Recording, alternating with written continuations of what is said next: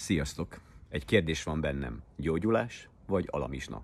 Az apostolok cselekedete harmadik részében, az első nyolc versben van egy történet. Péter és János fölmegy a templomba délután az imádság órájára.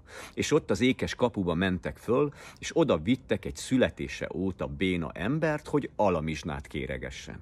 És amikor Péter és János meglátta, megszólította ezt a születése óta béna embert és azt mondta, néz ránk. Az az ember pedig feltekintett, mert várta, hogy kap valamit. És azt mondta Péter, ezüstöm és aranyom nincs, de amim van, azt adom neked. A názáreti Jézus nevében kelj föl és járj. És megragadta az embert, és felemelte. És akkor erősödött meg ennek a bénának a lába és az ő bokája. És az bement velük együtt a templomba, és újongott, és ugrándozott, és dicsérte az Isten. Alamizsnát várt ez az ember, mert ezt kapott mindig, de sokkal többet kapott.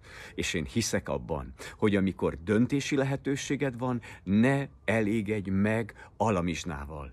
Jézus Krisztus a szabadító, Jézus Krisztus a gyógyító. Kérdésem, mit vársz? Gyógyulást vagy alamizsnát? Jézus a legdrágábbat adja, az életet, a szabadulást, a győzelmet és a gyógyulást. Legyetek áldottak Jézus hatalmas nevében. Amen.